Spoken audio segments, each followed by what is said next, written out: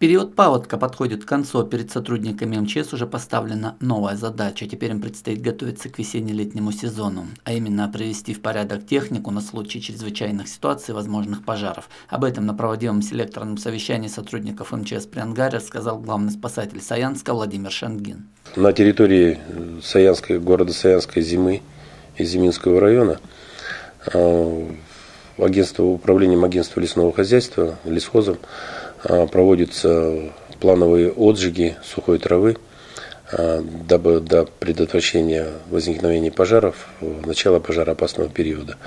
То есть э, по городу Саянску, по городу Зимей а, происходят несанкционированные поджоги травы, это имеется в виду, может быть, населением или посторонними лицами, неустановленными лицами подразделения пожарной охраны уже выезжают. В период прохождения паводка в области работало несколько оперативных групп. Спасатели отметили, что сильного наводнения на этот раз бояться не стоит. Погода минувшей зимой была вполне благоприятной.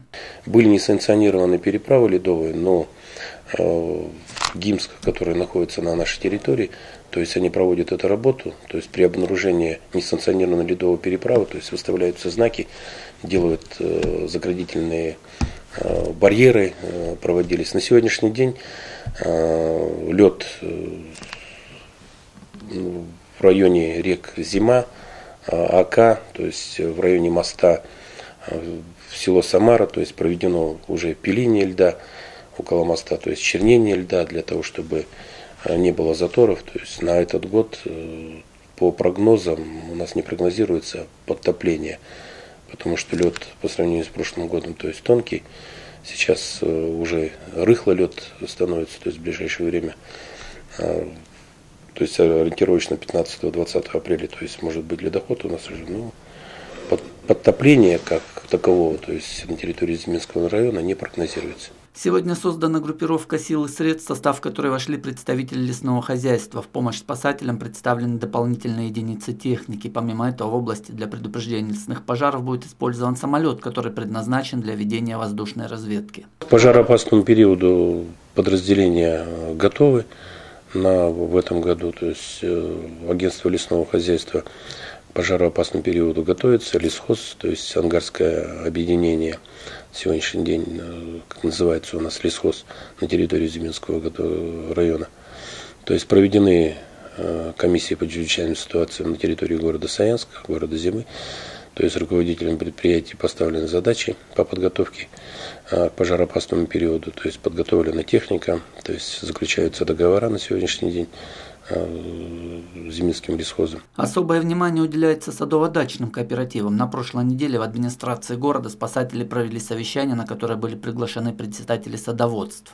При администрации города Саянска было проведено совещание с представителями садово-дачных кооперативов. То есть часть председателей присутствовали на, на данном совещании, то есть под председательством Пиркова Юрия Сергеевича, заместителя мэра города Саянска проводилось данное совещание.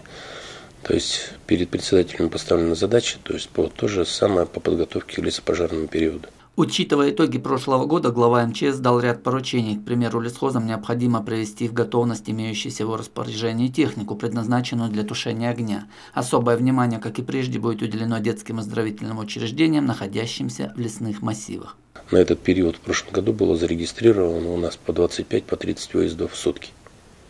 То есть это имеется в виду Саян, Зима и Зиминский район. То есть на сегодняшний день 5 выездов. То есть в связи с тем, что отрицательные температуры, пока минусовые температуры, на прошлый год на этот же период, то есть были плюсовые температуры, то есть и снежный покров у нас уже в прошлом году сошел. В этом году еще снежный покров местами у нас, то есть особенно на дачах, то есть снег еще не растаял.